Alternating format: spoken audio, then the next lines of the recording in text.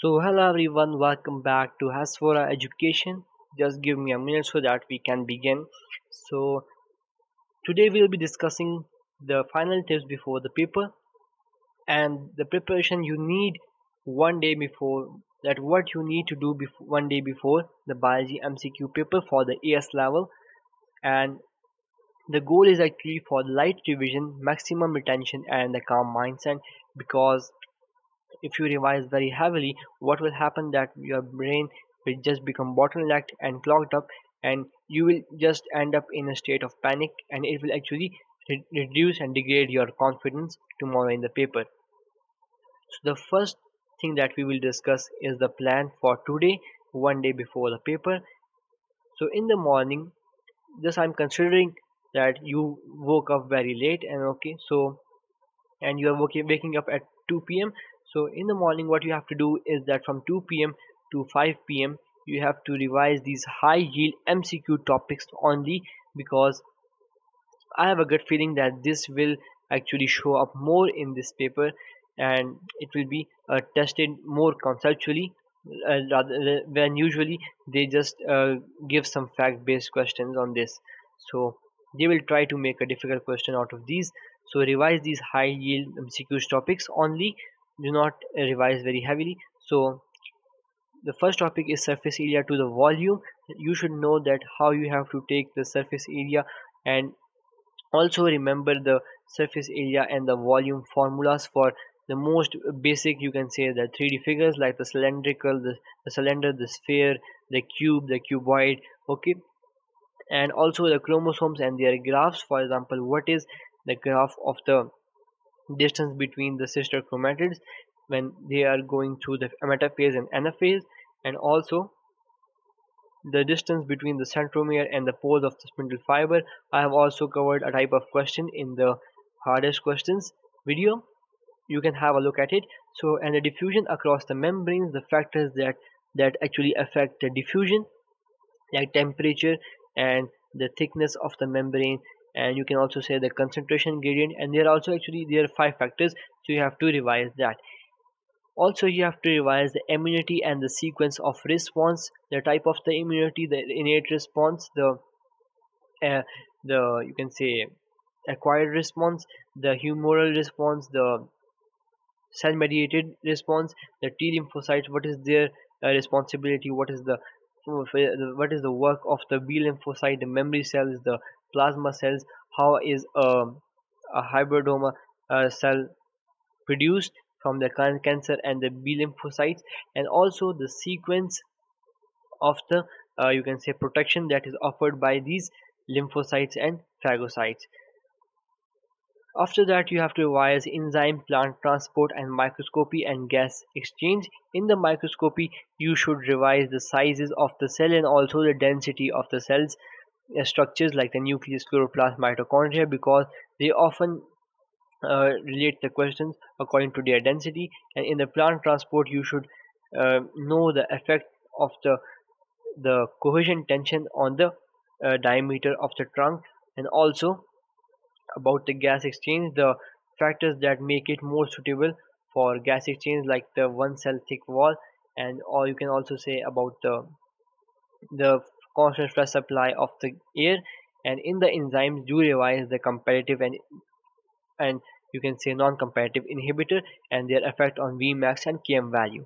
Solve one past paper of the MCQ paper with time and check answer and understand the mistakes only one paper okay because if you solve the hardest questions and questions like that are very difficult because I have the even the the paper the video I had made it is not very difficult but it is very conceptual based okay? So you do not have to go in a state of panic in on the last day because it will just degrade your confidence and it also you you are also going to mess up the things you know in the paper tomorrow. So just uh, you can say only solve one past paper mcq uh, today.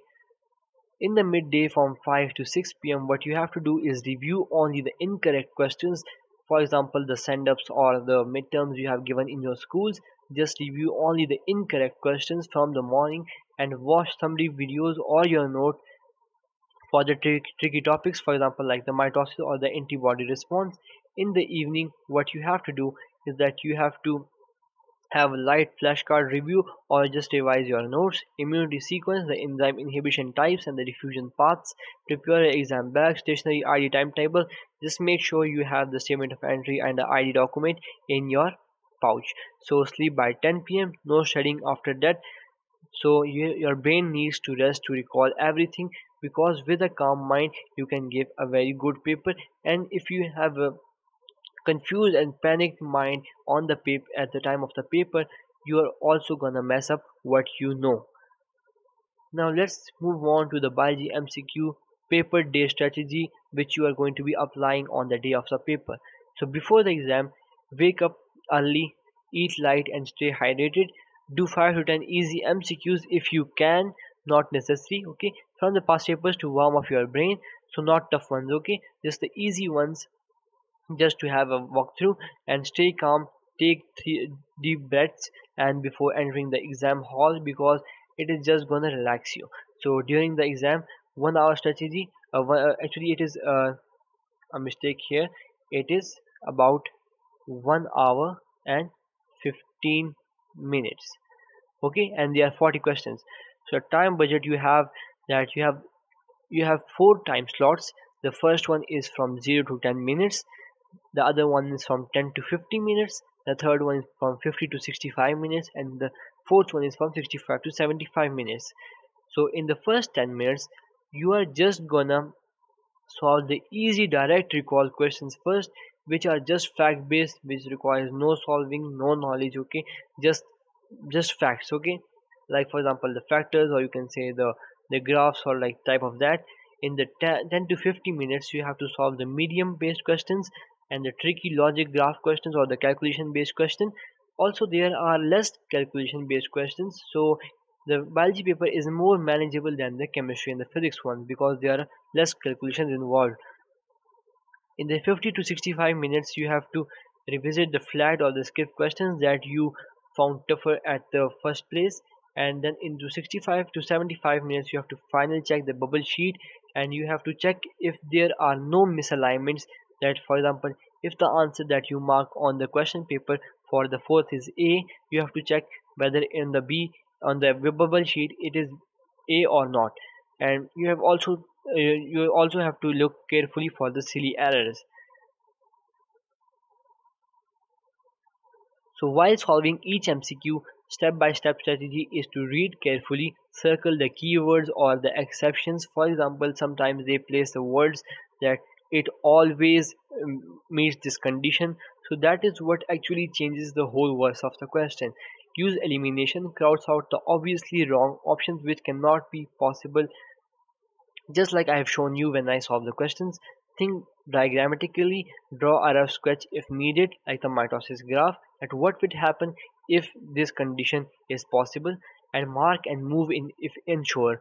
Don't waste more than 1.5 minutes or 90 seconds on one questions bubble um, uh, bubble the answer immediately. You have to mark on the bubble sheet immediately because if you leave it to the end you, in the end actually there is a very panic state and there is a high chance of you can say misalignments.